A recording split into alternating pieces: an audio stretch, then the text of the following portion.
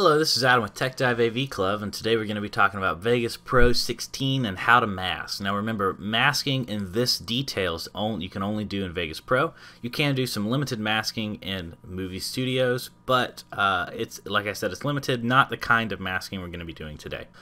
So uh, this is me masking out a Korok. I wanted to be able to put a Korok wherever I wanted a Korok. So if I want if you've ever played The Legend of Zelda, you know that you find these little things everywhere. You just kind of do some puzzle, like complete a rock circle, and boom, they appear. And so I wanted my Korok to be able to appear anywhere, and so I cut it out. So I went frame by frame, and I masked each section of the Korok. It's not perfect. It's uh, what I had time to do, which it took long enough as it was. Uh, but I'm happy with it, and I'll show you the little finished product here because this is what we're working towards. So this, I put it on a blue screen so I could key out the blue screen and reuse it again later. So I keyed out the blue screen so you can see really the effect. So that took a long time and it's really only a couple seconds of video. But that is really what the power of masking can do for you. So it's not the blue screen. I added the blue screen. I cut out the Korok first. See, this is the cut out Korok here. I added the blue screen. I can take away the blue screen too if I if I want to. See? This is using the rendered version so I can use it over and over again in other products. So that's the kinds of things you can do. You can mask something, put a blue screen behind it, and then, or I used a blue screen because obviously he's green, and a green screen would have been a bad choice. But uh, if your thing is not green, then a green screen is probably a better choice. So uh, we're going to talk about how you can use masking. And uh, to do this, we're going to do stationary masking and we're going to do uh, motion masking. So first, we're going to track this Oculus headset. Second, we're going to track the cat. There is Bezier masking where you can make words track next to something and we'll definitely cover Bezier masking soon. But for this, for this masking, you're going to have to do it yourself. So first, let's scroll out so we can find this section of the clip let's see. I don't need this whole video. Let's delete that audio. My audio and video aren't connected right now. I only want this, and let's see. I only want a second of the beginning. So I'm going to cut my video down, scroll in. Here we go. See, that's 10 seconds, 10 seconds, 10 frames, 10 seconds, 20 frames. That's how your how your uh, timeline works. We want to go right up to 11. So I want you to notice something. Whoopsie. We only have one second of video here.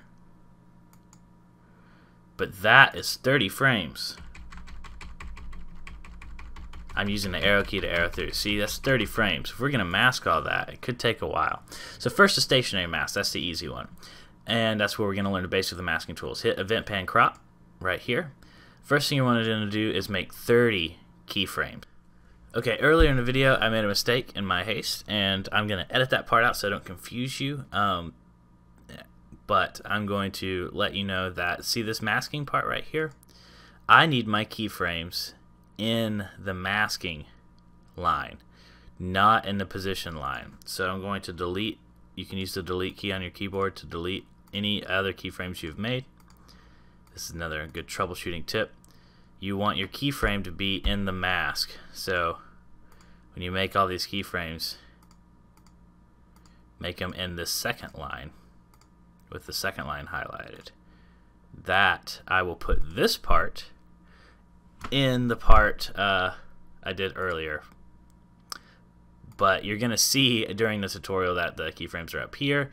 Uh, that's okay. I fixed it later. The keyframes are down here, so now you know. So if you don't know, a keyframe is where you can create some sort of effect, change, or crop, and then it will hit the keyframes. So if you have something right here, and then you move this over here, look, it made a keyframe, and then it will track from the original place over to there while like it'll time it out to do it exactly in the amount of time it takes for that half second to happen, which is where I did it based off this timeline. Keyframe right here, the first one, I'm going to hit masking and then that gives you some new tools here. You're going to want to zoom in. You're going to have anchor creation tool selected by default. Uh, but first, let me show you how to move around in it. Select, you can select the normal edit tool and move it around. And you can scroll in with the mouse wheel. And now you can focus on the object that you want to cut out. I want to cut out this Oculus Go. Huh, my little box has fallen. So I want to cut out the Oculus Go. I'm going to select the Anchor Creation tool. And I'm going to trace this object with a whole bunch of connect the dots. Now there's some tricks to this to make it easier. But first, I want you to know what happens if you break the chain. So rule number one, do not break the chain. You want this chain to go all the way around the object you're cutting out.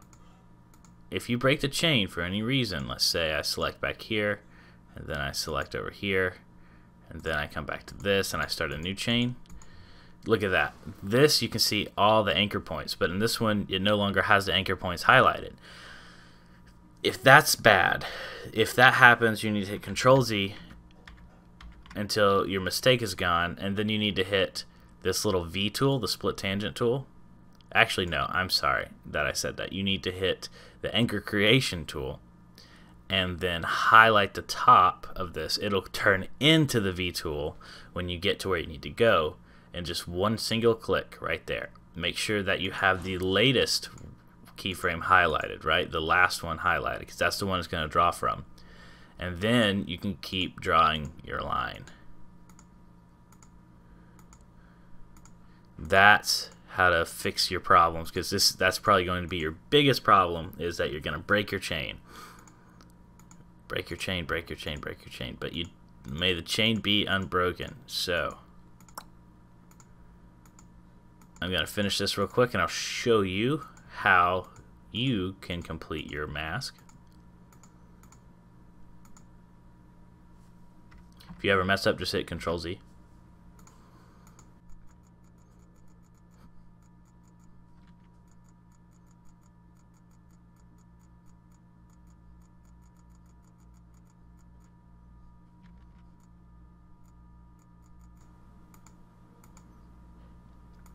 Alright, I'm at the point I can finish my mask. So the next line is going to draw is going to be a perfectly straight line. This is the last anchor point, and this is my first anchor point. While your last anchor point is highlighted, go ahead and select your first anchor point. See how the entire line will highlight? That's a good sign. Now I have this cut out. It darkens the rest of the footage. I don't know what's on my arm there. I think it's like a piece of cardboard. Uh, it darkens the rest of the footage and it shows you what you have cut out, what's primarily in focus. So if we look over here, you can see that it cuts out the Oculus for the entire second. That's because the Oculus doesn't move. That keyframe, however, does. I mean, sorry, this, the Oculus doesn't move.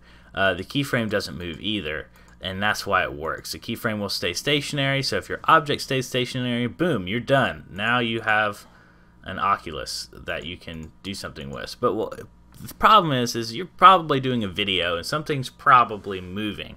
Otherwise you would just get a photo of an oculus and cut it out in a photo. It's more detailed and easier to do it in a photo editor. In a video editor you're probably doing a moving object and so that's your real problem. So let's go tackle that. Let's go cut out my cat's face.